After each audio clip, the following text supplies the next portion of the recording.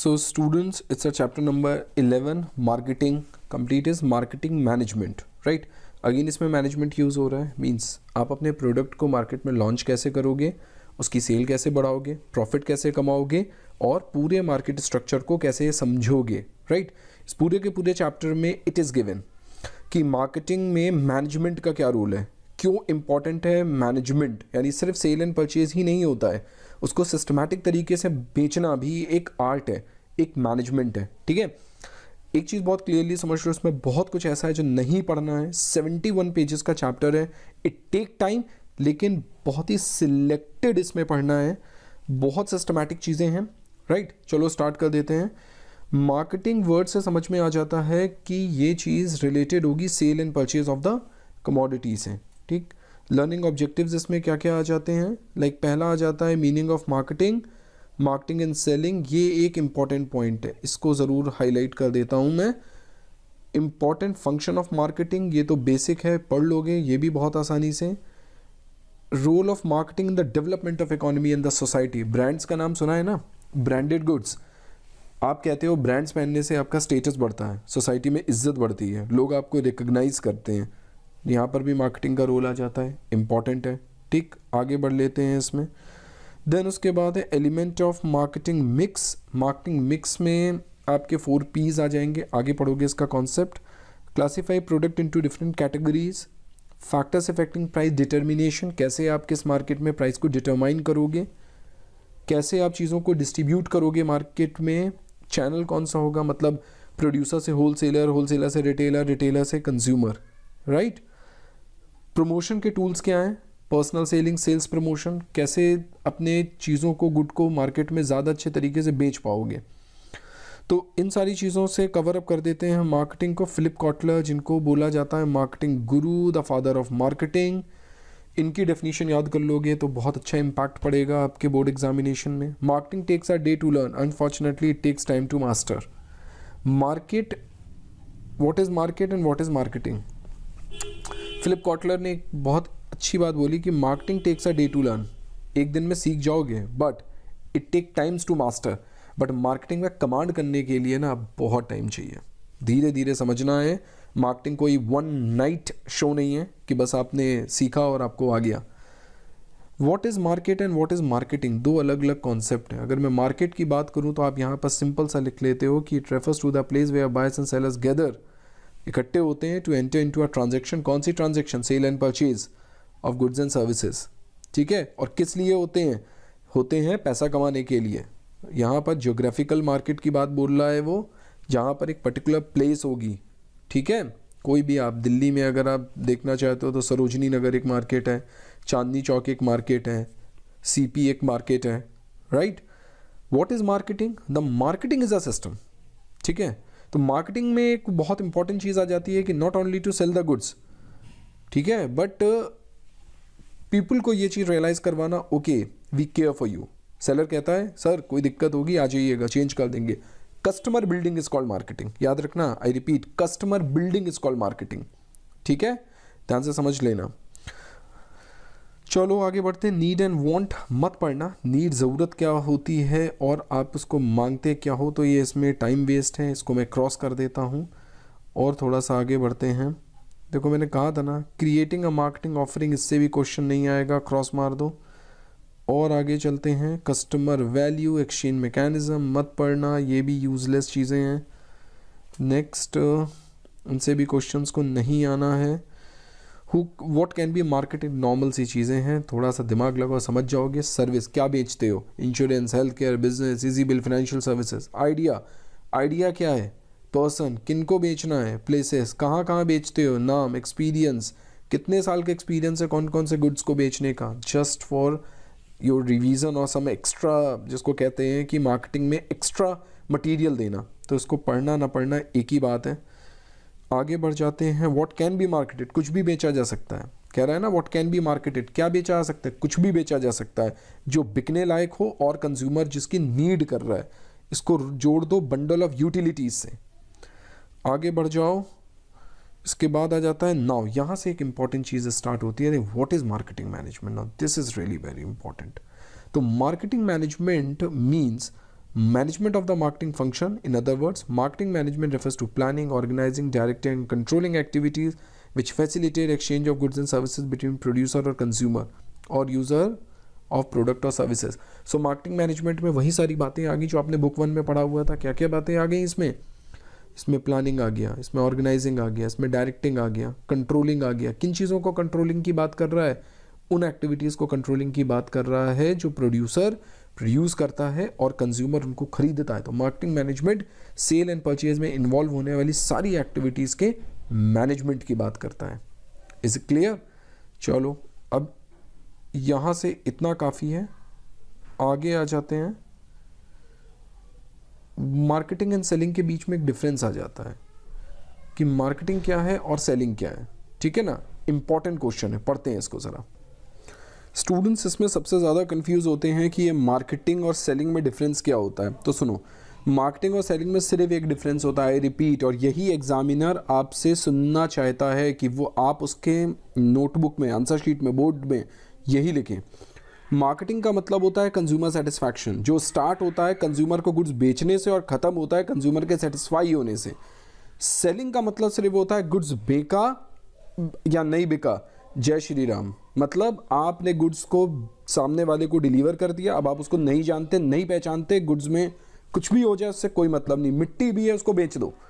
कोई मतलब नहीं कंज्यूमर सेटिस्फाई हो रहा है कि नहीं हो रहा है लेकिन मार्केटिंग एक बहुत लंबा प्रोसेस है कंटिन्यू प्रोसेस है, जो तब तक चलता रहता है जब तक कंज्यूमर अपनी तरफ़ से एक अच्छा फीडबैक और बाकी लोगों को भी इंस्पायर ना करें कि इस कंपनी से ये वाला गुड परचेज करो, ये बहुत अच्छा है। ठीक है? दिस इज़ कॉल्ड मार्केटिंग अब आगे बढ़ते हैं। यहाँ पर कि the major difference between marketing and selling बहुत इंपॉर्टेंट लाइन है। The major difference between marketing and selling part of process तो यहाँ पर लिखा हुआ है, देखो, ध्यान से पढ़ना। सिर्फ़ ये नहीं कि मैं मार्क कर रहा हूँ पॉज करो, लिखो। Selling is only a part of process of marketing समझ रहे हो ना? Selling is only a part of process of marketing but marketing is much wider than the selling selling के अलावा बहुत सारी एक्टिविटीज़ है जो मार्केटिंग इंक्लूड करता है। तो पहला डिफरेंस हो गया, ज़्यादा नहीं, सिर्फ़ चार डिफरेंस काफ़ी है। दूसरा ट्रांसफ़र ऑफ़ टाइटल मतलब satisfying consumer need main focus of selling is transfer of title transfer of title का मतलब ये गुड अभी मेरे पास है तो मेरा टाइटल मैंने कंज्यूमर को बेच दिया, अब उसका टाइटल अब मुझे कोई मतलब नहीं. लेकिन, maximum satisfaction, consumer need and want is the base of marketing. Now, आगे बढ़ते हैं. Profit through maximizing sales versus customer satisfaction. अब all selling activities are maximisation of sale sale को ज़्यादा से ज़्यादा बेचो, बहुत ज़्यादा ज़्यादा बढ़ाओ। लेकिन मार्केटिंग का मतलब क्या होता है? मार्केटिंग का मतलब होता है कि कंज्यूमर को सेटिस्फाई करो। ये नहीं कि सिर्फ़ बेच दिया। It concern with consumer satisfaction I repeat बार बार ये वर्ड आ रहा है consumer satisfaction consumer satisfaction consumer satisfaction यानी ये वर्ड क्या है? मोस्ट इंपॉर्टेंट है। इसको दिमाग में रखिए। Start and end of activities as I already told you selling कहाँ से स्टार्ट होती है? गुड्स प्रोडक्ट डेवलप हुआ मार्केटिंग एक्टिविटी स्टार्ट होती है प्लानिंग से और ख़त्म होती है उसके कंज्यूमर सेटिस्फैक्शन तक। सेलिंग का मतलब हो गया बस गुड्स बेचा नहीं, कि चीज़ें ख़त्म।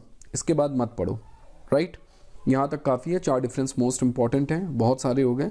इसके बाद एक नेक्स्ट मोस्ट इंपॉर्टेंट चीज़ स्टार्ट होती है that is marketing management philosophies इस वर्ड से ज़्यादा परेशान मत होना फिलोसफीज़ फिलोसफीज़ का मतलब होता है किस पर कॉन्सेंट्रेट कर सो फिलोसफीज़ का मतलब हो गया कॉन्सेंट्रेशन किस पर आप ज़्यादा कॉन्सेंट्रेट करते हो। इधर देखो प्रोडक्शन कॉन्सेप्ट वर्ड से क्या लग रहा है? प्रोडक्शन तो इसका मतलब क्या हो गया? प्रोडक्शन कॉन्सेप्ट का मतलब हो गया the focus of business activities was therefore on production of goods बस, यहाँ पर ये लाइन पिक कर लो मोस्ट इंपॉर्टेंट है नोट्स बना लिया कि प्रोडक्शन का मोस्ट इंपॉर्टेंट कॉन्सेप्ट क्या होता है? ज़्यादा से ज़्यादा गुड्स को प्रोड्यूस करना। तो एक कॉन्सेप्ट क्लियर हो गया, यहीं से केस स्टडी पिकअप करनी है। अब प्रोडक्ट कॉन्सेप्ट क्या कह रहा है? प्रोडक्ट कॉन्सेप्ट का मेन काम क्या होता है? प्रोडक्ट की क्वालिटी और प्रोडक्ट के जो फीचर्स है ना, उनको बहुत कायदे से बनाना। देखो इधर। The emphasise of the firm shifted from quantity देखो प्रोडक्शन कॉन्सेप्ट में क्या था? क्वांटिटी क्वांटिटी वर्ड था। यहाँ पर क्वालिटी आ जाएगा। कहाँ गया क्वालिटी ये रहा क्वालिटी और to quality of product so the focus of business activities continuous improvement in the quality and new feature जो नए नए फीचर्स आते रहते हैं ना for example take the example of mobile phones नए नए नए नए रेगुलर आते रहते हैं, ठीक है ना? तो इनका कॉन्सेंट्रेशन प्रोडक्शन पर ज़्यादा नहीं होता है। कौन सा नया फीचर दे दे जिससे हमारा गुड्स मार्केट में इमीडिएटली क्लिक कर जाए और बिक जाए? तो दो कॉन्सेप्ट हो गए, एक प्रोडक्शन और एक प्रोडक्ट एब्सोल्युटली राइट फिर आते हैं सेलिंग कॉन्सेप्ट पर। सेलिंग कॉन्सेप्ट क्या कहता है? सिर्फ़ बेच दो। ये दोनों कॉन्सेप्ट देखो, तुम लोग बहुत अच्छे से पढ़ चुके हो।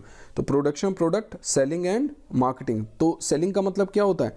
इसका जो मेन फोकस होता है ना, वो होता है the increase in the sale of business that's it marketing का क्या होता है? मार्केटिंग का मेन पर्पज क्या होता है? द सेटिस्फैक्शन और the main focus consumer satisfaction बस इससे ज़्यादा नहीं पढ़ना है, वरना कन्फ्यूज़ रहोगे। सीधे कंप्लीट करो। इधर देखो, ये द बेस्ट थिंग ये रही फिलोसफीज ये रहे उनके कॉन्सेप्ट एक और कॉन्सेप्ट रह गया आई थिंक सोशिएटल मतलब सोसाइटी के बारे में ध्यान रखना।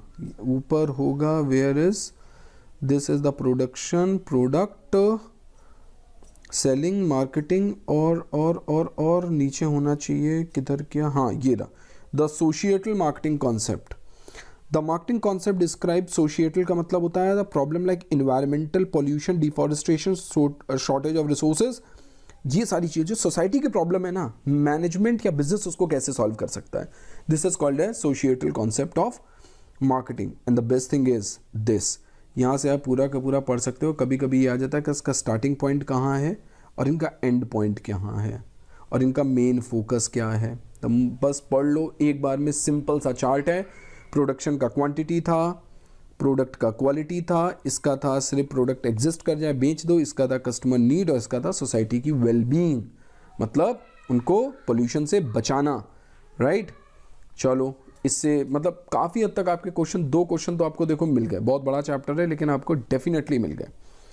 अच्छा ये कभी कभी आ जाता है, बहुत अच्छी चीज़ है कि यहाँ पर, ये देख लो, ये बहुत कभी, क्योंकि ये बोल्ड में नहीं है ना तो ये बॉक्स जो है ना हाईलाइट नहीं हो पाता। लेकिन आपको बताऊँ, सबसे ज़्यादा इंपॉर्टेंट इसकी है, क्यों? खुद समझ जाओगे। To sum up the marketing concept is based on the following player pillars marketing के जो ऊपर कॉन्सेप्ट है ना, वो इन पिलर्स पर डिपेंड करते हैं। आइडेंटिफिकेशन ऑफ़ मार्केट मार्केट को पहचानो और कस्टमर को चूज़ करो। Understanding needs and want of customer customer की नीड और उसकी वांट पर फोकस करो। उसके अकॉर्डिंगली प्रोडक्ट को डेवलप करो। कंज्यूमर को सेटिस्फाई करो। और सारा प्रॉफिट आराम से कमाओ। यही तो करते हो अगर आप बिज़नेस में देखो। क्या करते एक बार फिर से देखें, ज़रा रिपीट करें। मार्केट को समझो कस्टमर को समझो, उनकी नीड को समझो। उसके हिसाब से प्रोडक्ट को डेवलप करो, उनको सेटिस्फाई करो और प्रॉफिट कमा लो। सिंपल चलो मार्केटिंग के फ़ंक्शंस क्या होते हैं? अब इनको थोड़ा डिटेल में पढ़ेंगे। अब डीप में नहीं जाएँगे हेडिंग से ही काम चलता है इसमें। Gathering and analysing market information market की इन्फॉर्मेशन को गैदर करना, इकट्ठा करना, तभी तो प्रोडक्ट बना पाओगे। आगे बढ़ो। मार्केट की प्लानिंग करना। प्लानिंग का मतलब सिर्फ़ और सिर्फ़ ये नहीं होता क्या प्लान करें, क्या प्रोडक्ट बनाना है, कितना प्राइस रखना है, कितने परसेंटेज पर कौन से होलसेलर कौन से रिटेलर कौन सा मार्केट कौन सा एरिया सब कुछ प्लानिंग का पार्ट आ जाता है। नेक्स्ट आ जाते हैं हम लोग। तीसरी चीज़ पर प्रोडक्ट को फिर डिज़ाइन और डेवलप करना। उसके अकॉर्डिंगली कौन सा मार्केट कौन सा टारगेट आप टारगेट मार्केट रख रहे हो। यूएस में रख रहे हो तो उनको बहुत ही अच्छे product high technical like uh, like, जो उनकी टेक्निकल नीड्स को फुलफिल करते हैं। ऐसे हाई टेक्नोलॉजी बेस्ड प्रोडक्ट चाहिए होते हैं। इंडिया मार्केट में फ्लेक्सिबिलिटी है। ठीक है ना? टेक्नोलॉजी उतना मैटर नहीं करती इतना ड्यूरेबिलिटी मैटर करती है। अच्छा चौथा क्या? स्टैंडर्डाइजेशन एंड ग्रेडिंग किसके लिए बना रहे हो? Right right? उसका थोड़ा सा स्टैंडर्ड और उसकी थोड़ी सी ग्रेडिंग फिर आता है पैकेजिंग एंड लेबलिंग पैकेजिंग जितनी सुंदर पैकेजिंग उतना ज़्यादा प्रोडक्ट उसको अट्रैक्ट करता है। लेबल सारी इन्फॉर्मेशन उस पर गिवन होनी चाहिए। ये भी मार्केटिंग का पार्ट है। सिक्स में आ जाती है ब्रांडिंग ऑब्वियसली ब्रांड है तभी तो बिकेगा, ठीक है?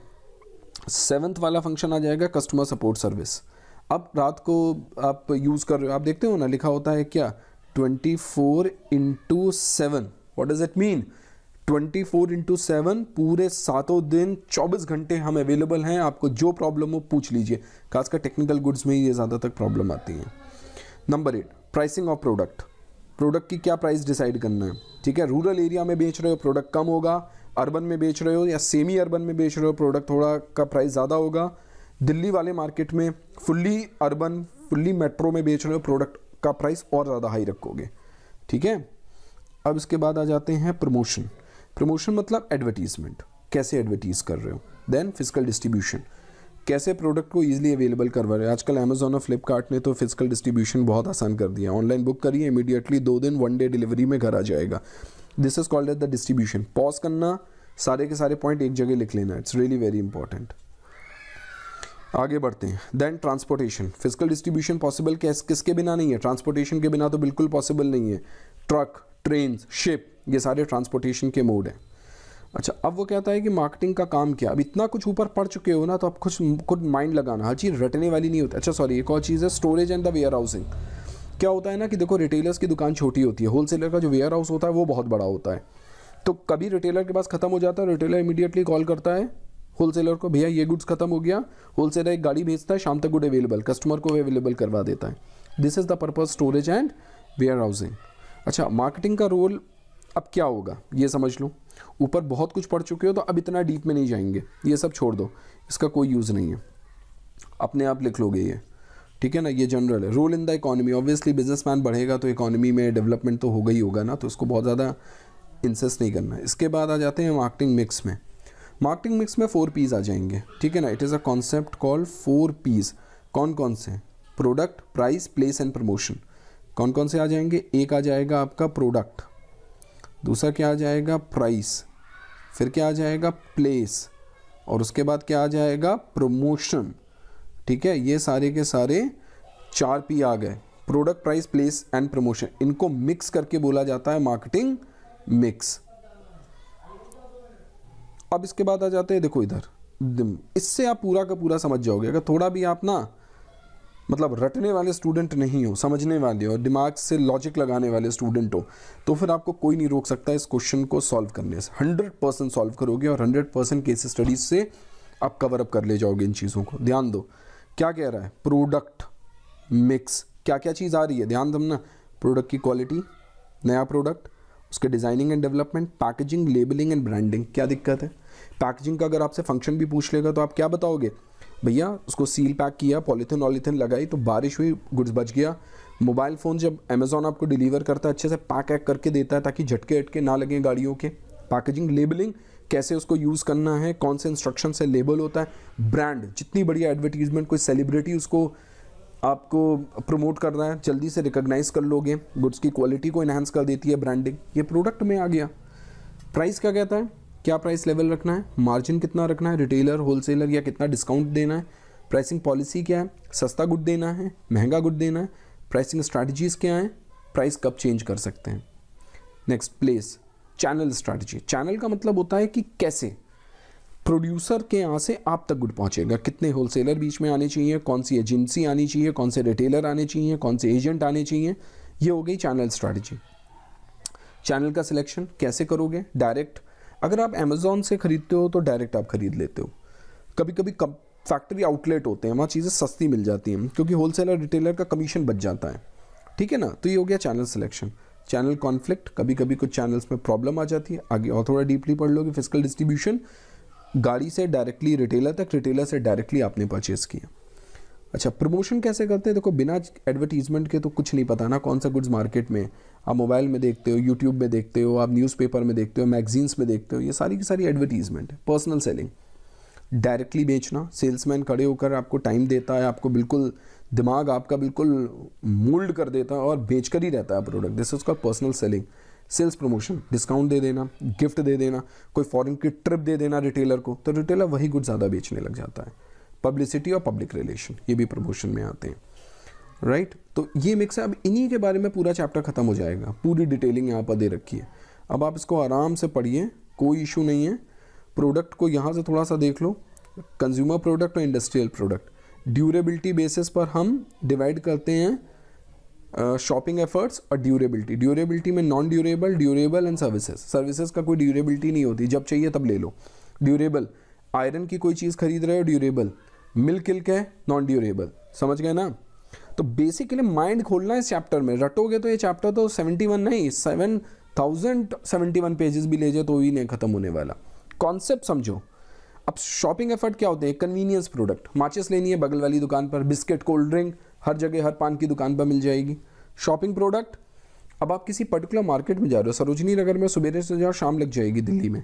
या कोई भी आप अपने एरिया का कोई लोकल मार्केट जाओ शॉपिंग करनी पड़ती है। ठीक है ना? क्या पसंद है, क्या नहीं पसंद है? फर्नीचर लेने जा रहे हो? ऐसा थोड़ी ना आप गए और लेकर चले जाए। आप उसको देखते हो कितना मज़बूत है, कितना ड्यूरेबल है कलर पसंद है कि नहीं है? All सस्टिंग this call shopping product speciality gold speciality car speciality ठीक है ना? वो होते हैं स्पेशलिटी प्रोडक्ट्स तो ये तो प्रोडक्ट की कैटेगरी हो गई। आगे बढ़ते हैं क्लासिफिकेशंस में।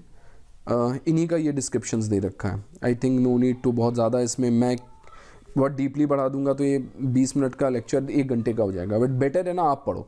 कोई प्रॉब्लम हो जाए, मुझे कमेंट कर दो, मैं उसको, उस पर्टिकुलर पार्ट को और अच्छे से एक्सप्लेन कर दूँगा। देखो फॉर एग्ज़ाम्पल मैंने कन्वीनियंस बताया ना standardise most of the product are branded product और ईजिली मिल जा रहे हैं। आपको पता है कि लक्स का साबुन लेना है, ले लो। ठीक है ना? डीओ लेना है, ले लो पर्टिकुलर जो आपको सूट करता है। Right this is called convenient product आगे बढ़ जाते हैं। Speciality these are the speciality product आप देख रहे हैं ना, ये क्या है? एंटिक आइटम्स हैं. स्पेशलिटीज ठीक है ना? जिनकी स्पेशलिटी होती है. These are the antique piece आगे बढ़ जाते हैं ड्यूरेबल एंड नॉन ड्यूरेबल बता चुका हूँ. चैनल लेवल डेराइव्ड इंडस्ट्रियल नहीं, ये सब नहीं पढ़ना है. लीव इट इनको छोड़ो, आगे बढ़ो. ब्रांडिंग ब्रांडिंग के फ़ायदे क्या होते हैं? अच्छा यहाँ से पढ़ लोगे, बहुत अच्छे से क्लियर हो जाएगा. जेब बिजोस को तो नाम सुना है ना? अमेजोन का मालिक। वर्ल्ड का सबसे रिचेस्ट पर्सन इसकी ही बात लिख लो ज़्यादा अच्छे से क्लिक करेगी। Has always seemed to me that uh, your brand is formed primarily not by what your company says about itself but what the company does. इसका मतलब समझे ब्रांड वो होता है जो कंपनी कर रही है नॉट कि कंपनी कह रही है। कंपनी कह रही है कि मेरा प्रोडक्ट दुनिया का बेस्ट है। लाइक like एप्पल ने बोला मेरा प्रोडक्ट दुनिया का बेस्ट है। वो कह रही है। एप्पल कहती नहीं है। एप्पल करती है और लोग कहते हैं, yes this is the best in the world अब समझ गए ना कैसे करना है कवरअप करना है? चलो। आगे बढ़ो। ब्रांड नेम क्या होता है? जैसे Maggi is a brand name ठीक है? और Gucci is a brand name तो ये जो वर्ड है ना L V is a brand name तो ये जो वर्ड है, जिनके नाम से आप उनको रिकोगनाइज करते हो that is called brand name brand mark कोई सिंबल आपने देखा? ब्रांड मार्क बन गया। ठीक है? अब लीगल प्रोटेक्शन अगर उसको दे देगा तो वो ट्रेडमार्क बन जाएगा। Right right? चलो, इसके बाद आ जाते हैं एडवांटेज मार्केटिंग के लिए क्या एडवांटेज है कस्टमर के लिए क्या एडवांटेज ध्यान से पढ़ना ब्रांड की कस्टमर के लिए क्या एडवांटेज है? प्रोडक्ट का आइडेंटिफिकेशन क्वालिटी और स्टेटस सिंबल ठीक है? अच्छा मार्केटर के लिए क्या है? ज़्यादा उसको लोड नहीं लेना होता। अच्छा अब आ जाओ पैकेजिंग पर। पैकेजिंग में ना होता क्या है कि पैकेजिंग एक बहुत इंपॉर्टेंट फैक्टर है कि इसमें आपको लेवल्स ऑफ़ पैकेजिंग ज़रा देखनी पड़ती है। इधर देखो, मैं तुम्हें ये बता देता हूँ और ये केस स्टडीज़ के पॉइंट ऑफ़ व्यू से काफ़ी ज़्यादा इंपॉर्टेंट है। टूथपेस्ट सिंगल है मतलब टूथपेस्ट का ये ट्यूब है। समझना मेरी बात को। This is a tube toothpaste इसके अंदर है। तो ये हो गया फ़र्स्ट लेवल अब ये जो टूथपेस्ट है, ये इस कार्डबोर्ड के अंदर है, ये हो गया सेकंड लेवल अब ये कार्डबोर्ड एक ट्रांसपोर्ट वाले डिब्बे में आता है, इसमें कई सारे टूथपेस्ट होते हैं. ये हो गई थर्ड लेवल पैकेजिंग समझ गए ना? दिस इज़ कॉल्ड इसको कह देंगे? प्राइमरी ठीक है ना? ये हो जाएगी सेकेंडरी और ये हो जाएगी ट्रांसपोर्ट पैकेजिंग देखो मैं दिखा देता हूँ. ये लिखा हुआ है प्राइमरी ठीक है? और नीचे आ जाओ. ये लिखा है सेकेंड और वो जैसा कि मैंने बताया था दिस इज़ कॉल्ड ट्रांसपोर्टेशन। फ़ायदे क्या हैं? यार ऑब्वियसली जानते हो उसका मतलब क्या है। प्रोडक्ट में डिफ्रेंशिएट करना प्रोडक्ट की standard of health and sanitation पर ध्यान देना। फ़ंक्शंस क्या हैं? प्रोडक्ट पहचानने में आसान हो जाता है। प्रोडक्ट को प्रोटेक्शन मिल जाता है। मैंने आपसे बोला ना मार्केटिंग एक दिमाग से काम करने वाला लेसन है। फिर facilitation of the use of the product product का प्रमोशन हो जाता है। अब आ जाते हैं लेबलिंग पर। Labelling is also very important क्या डिस्क्राइब करता है? Describe the product and specify its content उसके प्रोडक्ट को स्पेसिफाई करता है, उसके कंटेंट को बताता है। ठीक है ना? दिस इज़ कॉल्ड लेबलिंग और आगे आ जाओ। आइडेंटिफिकेशन ऑफ़ प्रोडक्ट और ब्रांड ब्रांड को बताता है। लेबल देखकर पहचान जाते हैं किस ब्रांड का है। ग्रेडिंग ऑफ़ प्रोडक्ट कुछ उसकी पैकेजिंग अगर सेम कंपनी नेम है, लेकिन उसकी पैकेजिंग थोड़ी लो लेवल की है तो हमें समझ में आ जाता है कि ये जो ग्रेड है ना, ये सस्ता है। ठीक है ना? कुछ उसी में प्रीमियम प्रोडक्ट आ जाते हैं। अब जैसे टाइटन की वॉच है। टाइटन की वॉच तो बारह हज़ार की भी आती है, पच्चीस हज़ार की भी आती है और एक हज़ार की भी आती है। तो जो एक हज़ार वाली में पैकेजिंग मिलेगी, वो थोड़ी ना तुम्हें बीस हज़ार वाली में मिलेगी। So this is called as the grading of product goods को प्रमोट करने में मदद करता है और providing information by law law ने कानून में कौन सा सर्टिफिकेशन दे रखे हैं वो भी बता देता है। बेटा प्राइसिंग में ये वाली बात इंपॉर्टेंट है। कि factors affecting pricing determination product की कॉस्ट मान लो कॉस्ट आ रही है तुम्हारे प्रोडक्ट की सौ रुपये तो तुम उसको सौ के ऊपर ही रखोगे, बीस रुपये का मार्जिन लगा के। This is call product cost जब डिसाइड करती है कि कितना प्राइस रखना है गुड का। आगे बढ़ो। द यूटिलिटी ऑफ़ डिमांड अगर मान लो डिमांड उसकी बहुत ज़्यादा है तो प्राइस ज़्यादा होगा। एक्सटेंट ऑफ़ कंपटीशन अगर किसी गुड का कंपटीशन बहुत ज़्यादा है तो सेलर हमेशा बहुत ही क्लोज रखेगा। मान लो उसकी लागत आ रही है ग्यारह रुपये तो फिर वो सिर्फ़ बारह रुपये में बेचेगा, ताकि कोई और उसके प्रोडक्ट को ना छीन के ले जाए। गवर्नमेंट इन लीगल कभी कभी गवर्नमेंट कह देती है कि इससे ज़्यादा नहीं बेच सकते उससे कम नहीं बेच सकते। हो तो गवर्नमेंट की रिस्ट्रिक्शंस लग जाती है। ऑब्जेक्टिव क्या है? अगर आप एक क्लास को गुड्स बेचना चाहते हो तो बहुत हाई प्राइस रखो, ताकि मिडिल क्लास लो क्लास ना खरीद पाए। और अगर आपका ऑब्जेक्टिव है कि मिडिल हो या रिच हो, कोई भी खरीदे तो आप उसकी क्वालिटी हाई रखकर उसके प्रोडक्ट को नॉमिनल रख देते हो। फिर आता है चैनल ऑफ़ डिस्ट्रीब्यूशन ये देखो। यहाँ पर आप देख लो, मैं बहुत अच्छे से समझा देता हूँ कि ये है प्रोड्यूसर ने होल सेलर को बेचा रिटेलर को बेचा और ये कंज्यूमर पर आ गया। ठीक है ना? अब चैनल्स को थोड़ा और अच्छे से देखो, यहाँ पर एक डायग्राम दे रखा है, मैं बता देता हूँ कि ये छोड़ो, यहाँ पर दिया now this is the most important समझ गए? अब देखो, ये क्या है direct channel zero level zero level का मतलब मैन्युफैक्चरर ने सीधे कंज्यूमर को बेच दिया। बीच में कोई भी नहीं था, इसलिए इसको ज़ीरो कर दिया। अब दूसरा वाला चैनल देख लेते हैं। मैन्युफैक्चरर ने कंज्यूमर को बेच दिया। बीच में रिटेलर आ गया। तो कौन एक आ गया ना? नंबर वन इसलिए इसको क्या बोल दिया गया? वन लेवल तीसरा देखते हैं। मैन्युफैक्चरर ने कस्टमर को बेचने के लिए बीच में दो लोगों का यूज़ कर लिया। किस किस का? एक होलसेलर का और एक रिटेलर का। इसलिए इसको टू बोल दिया गया। फिर देख लो मैन्युफैक्चरर ने एजेंट एजेंट ने होलसेलर होलसेलर ने रिटेलर रिटेलर ने कंज्यूमर तो कितने बंदे आ गए? एक आ गए, दो आ गए और तीन आ गए. तो this is called as the three level मस्त था, समझ में आ गया? बिल्कुल मत भूलना. इसके ऊपर पढ़ना नहीं deeply indirect channels and direct channel two level देखो, यहाँ से क्लियरली हो रहा है ना, ये चीज़ है। उसी को ये लोग एलेबोरेट कर रहे हैं। बट अपना दिमाग यूज़ करो, बहुत ज़्यादा डीप नहीं पढ़ना है। फ़िज़िकल डिस्ट्रीब्यूशन में आ जाते हैं, ये रहा कंपोनेंट ऑफ़ फ़िज़िकल डिस्ट्रीब्यूशन क्या क्या चीज़ें इसमें इंक्लूड होती हैं? इसमें इंक्लूड होने वाली चीज़ों में है, पहला, ये order processing buyers and seller के रिलेशनशिप ऑर्डर प्लेसमेंट पहला स्टेप होता है। उसने कह दिया कि, सर, इतना ऑर्डर चाहिए मुझे। इतने गुड्स मंगवाने हैं। तो 100 गुड्स 200 गुड 300 गुड्स जिसको ऑर्डर प्लेसमेंट फिर होता है क्या? ट्रांसपोर्टेशन ट्रक के थ्रू रेलवे के थ्रू शिपिंग के थ्रू ट्रांसपोर्ट हो रहा है। देन उसके बाद होता है वेयर हाउसिंग वेयर हाउसिंग में रखा जाता है, क्योंकि हर गुड बार बार प्रोडक्शन हाउस से नहीं मंगाया जा सकता, इसलिए उसको एक बार खरीद के होलसेल में रख लिया। जितनी बार भी रिटेलर को चाहिए, उतनी बार रिटेलर को पहुँचा दिया गया। आगे आ जाओ। इन्वेंट्री कंट्रोल तो छोड़ दो, उससे कोई मतलब नहीं है। प्रमोशन मिक्स लास्ट मिक्स बचा है प्रमोशन मिक्स ये क्या कह रहा है? एडवर्टीजमेंट सबसे बड़ा फैक्टर और इसको अगर पढ़ना है तो इसके बारे में आपको सिर्फ़ एक चीज़ पढ़नी है। मैं फिर से बता रहा हूँ।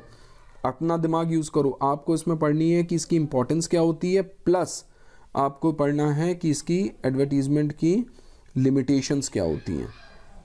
Right right? इन दोनों के अलावा मत पढ़ लेना। और एडवर्टीजमेंट होता क्या है तो आप इसमें डेविड की डेफिनेशन पढ़ सकते हो। ये सही है। हाँ ठीक है। If you are trying to pursue people to do something किसी भी काम को करने के लिए आप लोगों को परस्यू करते हो। और buy something it seems to me you should use their language the language in which they think आपको वो लैंग्वेज यूज़ करनी चाहिए जिसमें वो सोचते हैं, जिसमें वो समझ सकते हैं, जिसमें वो जानते हैं। Right right? अच्छा। ये देख। ये आ गया ना मैरिट्स एंड लिमिटेशंस मैंने पहले ही बोला था। These are the merits and limitation mass reach बहुत ज़्यादा कवरेज होता है इनहेंसिंग कस्टमर सेटिस्फैक्शन एक्सप्रेसिव होता है। लिमिटेशन क्या है? लैक ऑफ़ फीडबैक फीडबैक नहीं मिल पाता फ्लेक्सिबल नहीं है लो इफ़ेक्टिव कभी कभी है लेस फोर्सफुल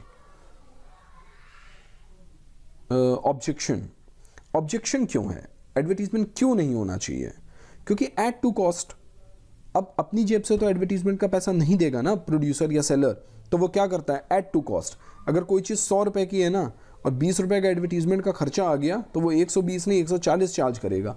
एक सौ बीस तो उसकी कॉस्ट होगी, बीस रुपए। जो चीज़ आपको एक सौ बीस की मिलनी चाहिए थी या एक सौ दस की मिलनी चाहिए थी, वो अब आपको मिल रही है एक सौ चालीस की। इसलिए ऑब्जेक्शन है। दूसरा क्या है? ये क्या करता है?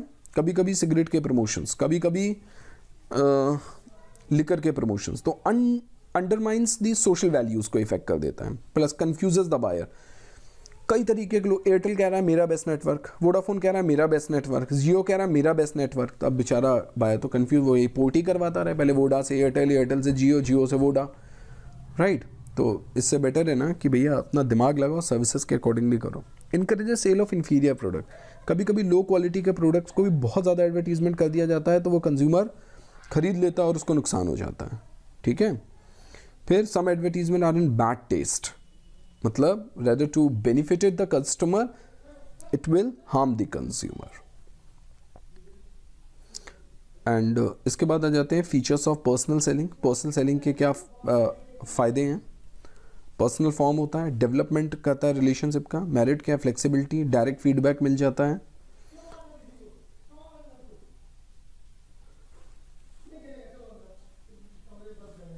इसमें देखो मैं और थोड़ा सा इसकी पर्सनल सेलिंग की डेफिनेशन बता देता हूँ।